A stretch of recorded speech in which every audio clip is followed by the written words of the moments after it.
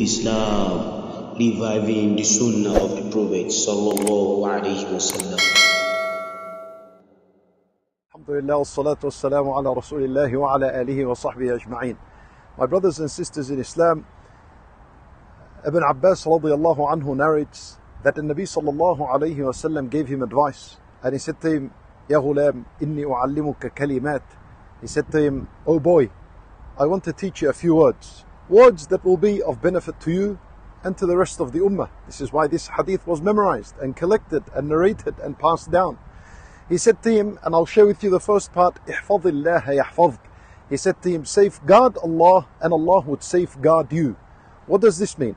Safeguarding Allah, it means to adhere and to commit to Allah subhanahu wa ta'ala's commands and to keep away from that which Allah azza wa prohibited.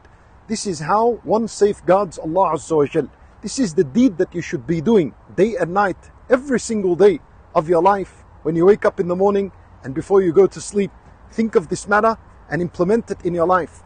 Adhere to all the commands of Allah Azza wa Jal, and above the list is as-salat and all the deeds that we know about, and avoid the prohibitions. Keep away from them all. Nabi sallallahu alayhi wasallam said, "Ihfazillah." If you did this matter, what is the result? What is the reward that Allah gives you? Yahfaz. Allah Azza wa Jal would safeguard you. He'll protect you. This is the reward. And this is, yani subhanallah, al-ulama rahimahumullah, they say, the more a person commits to the worship of Allah, the more Allah's protection for him. And the less adherence and commitment to Allah subhanahu wa ta'ala's commands and laws, then the less protection you get in your life. Well, Allah subhanahu wa ta'ala, Allah azza wa jal, He mentioned a story in the Quran about Yunus alayhi salam when he was in the belly of the whale. Allah azza wa jal, He said, فَلَوْلَا أَنَّهُ كَانَ مِنَ الْمُسَبِّحِينَ Had Yunus alayhi salam not been from among those who worshipped Allah and from among those who declared Allah's perfection, min al-musabbihin, what would have happened? He would have remained in the belly of the whale until the day of judgment.